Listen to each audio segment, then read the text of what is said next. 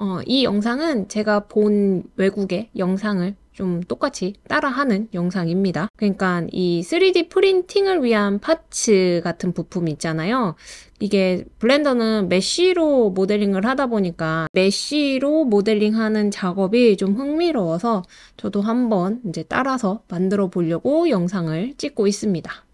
음, 기본적으로 이 블렌더의 단위는 지금 미터로 설정이 돼 있어서 일단 많이 사용하는 밀리미터로 바꾸고 사용을 할 거고요. 0.001 자, 이렇게 바꿔주면 이 큐브가 2mm, 밀리미터로 나타나게 됩니다. 그래서 이 상태로 우리가 만들려고 하는 친구를 이제 이 옆에다가 그림을 띄워놓고 보면서 하겠습니다. 그래서 지금 여기 보이는 이 parts를 Blender mesh로 한번 모델링 작업을 해 보려고 합니다. 가장 바닥이 되는 베이스 모양을 어, 크기를 입력을 해서 일단 바닥을 64 높이는 16 잡아주고요. 그리고 이제 얘를 mesh를 면을 자르고 자르고 잘라서 extrude를 해서 모델링 작업을 할 예정입니다. 기본적으로 여기가 이제 object 모드고 tab키 누르면 edit 모드 이렇게 object, edit 왔다 갔다 하게 됩니다. 그래서 이 edit 모드에서 수정을 할 수가 있고요. 컨트롤 R 하게 되면은 이 mesh를 자를 수가 있습니다.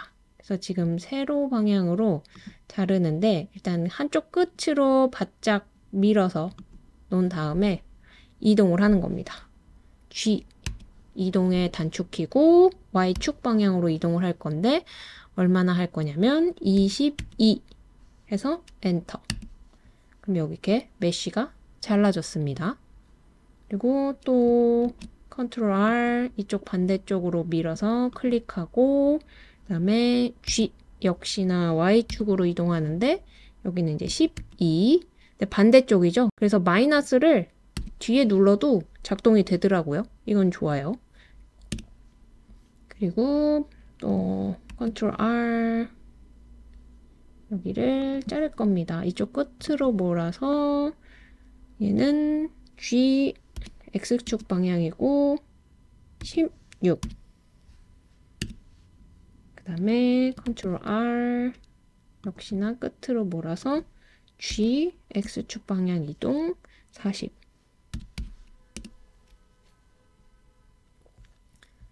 자, 그러면 이렇게 메쉬를 자른 겁니다.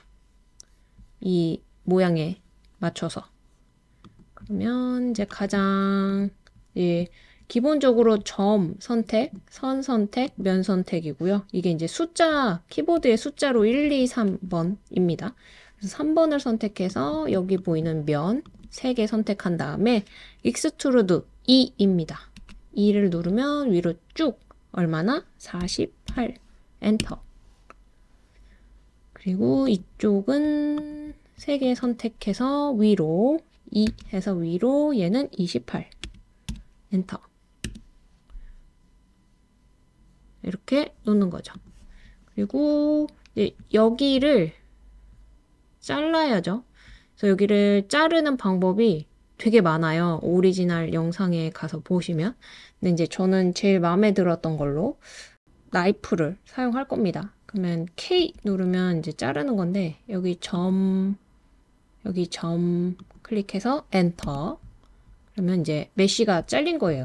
그러면 여기 또 K 눌러서 나이프 점 점 엔터 그러면 이렇게 잘라진 겁니다.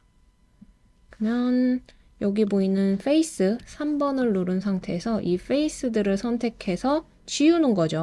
X, face를 지워버려요. 이렇게 잘렸죠? 여기를 닫아야죠. 1번 누르고 점 선택을 해서 Shift, Shift, Shift 누른 상태로 점 4개 선택한 다음에 F 누르게 되면 점을 이제 면으로 페이스가 만들어 줍니다. 그러면은 여기가 이렇게 면이 생성이 됐죠. 그리고 이쪽 끝에 이제 R 값으로 주는 게 일단은 2번 눌러서 엣지 선택할 수 있게 하고요. 이제 컨트롤 B인데 이 컨트롤 B를 보면 어, 지금 작동이 되게 이상하게 돼요. 일정한 각도도 아니고 그리고 여기에 이제 선이 있으니까 mesh가 잘려져 있으니까 간섭이 되면서 제대로 안 되거든요. 그래서 이거 같은 경우에는 음, object 모드로 간 다음에 지금 보면 이 스케일이 적용이 1대1대 1 비율로 이제 스케일을 먼저 적용을 해주고요.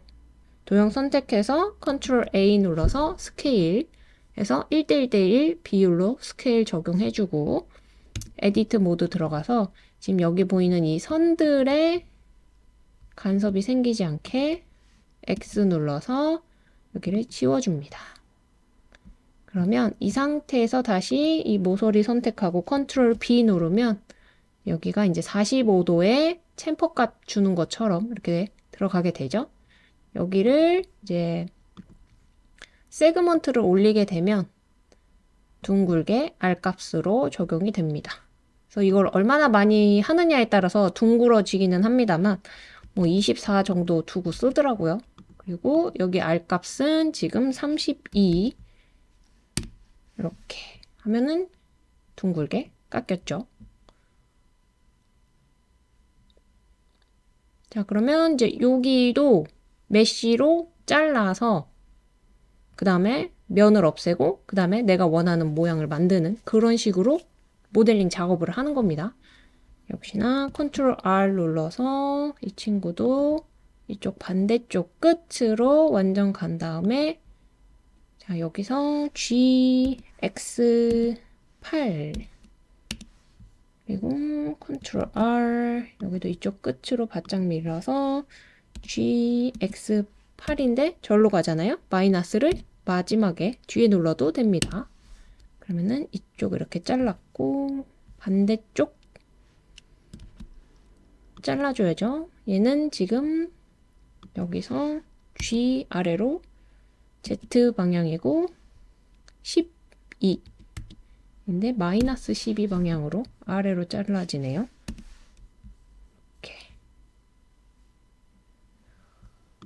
음, 그러면 face 3번 3개 이쪽 4개 해서 X 눌러서 face 지우면 이렇게 뚫렸습니다. 그러면 얘를 다시 면을 닫아줘야죠. 1번 눌러서 Shift로. 여기 여기 여기. 4개 F. 그 다음에 여기도 Shift로. 점 4개 F. 그리고 여기도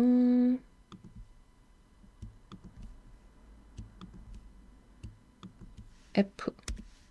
하면 이렇게 면이 닫혀진 상태에서 엣지 양쪽 엣지 선택하고 그다음에 컨트롤 B 하게 되면 음. 값은 지금 12 엔터 음. 그러면 여기가 이렇게 둥글게 엣지가 됐고요. 그 다음에 이쪽 밑에도 같은 방식으로 mesh를 잘라줘서 없애고 면을 만들고 bevel로 둥글게 하고 이게 이제 작업이 반복이 되는 겁니다. 컨트롤 R 해서 이쪽 방면 이쪽이니까 지금 GY 16 이게 해주고요. 그리고 이게 여기가 여기까지가 지금 22로 선이 나뉘어져 있거든요. 그러면 지금 여기가 16이고 22니까 여기가 6이고 그래서 여기서 10만큼만 더 가면 되네요. 그래서 이쪽 방향에서 끝에서 GY 10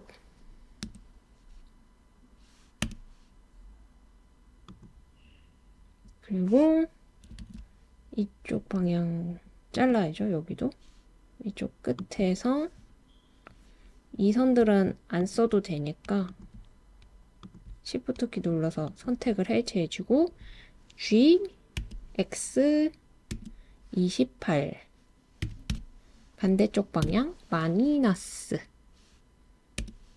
됐네요. 역시 3번 눌러서 여기 face face face 선택 지우고 face 지우고 음, 그리고 다시 여기다 이제 face를 만들어 줘야죠. face F. F. 그리고 여기도 face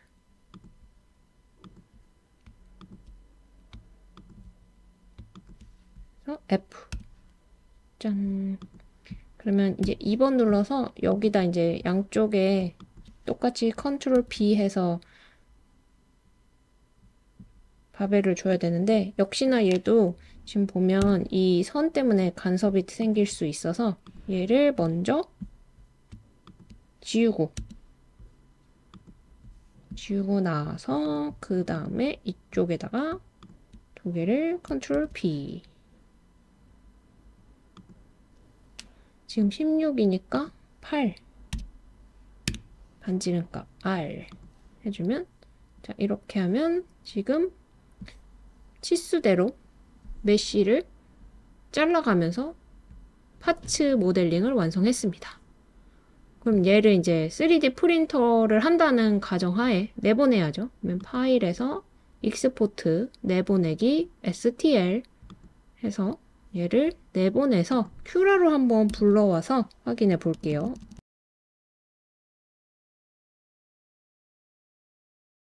자, 그러면 이렇게 모양이 나와 있고 슬라이스 해보면 일단 크기 이제 크기 확인해 보면 이제 전체 크기죠. 64, 64, 높이 96 이제 작업한 크기대로 들어와 있습니다. 그리고 미리 보기로 확인하면 이렇게 출력이 되네요. 음. 안에를 뭐 solid화 하기, 뭐 면을 꼬매기, 뭐 이런 기능을 사용하지 않았거든요. 일단 mesh 면이 붙으면 알아서 이렇게 STL로 내보내기를 할 때는 solid화가 돼서 내보내기가 되는 것 같아요. 자, 그래서 이 모양을 블렌더로 메쉬를 잘라가면서 모델링을 한번 해봤습니다.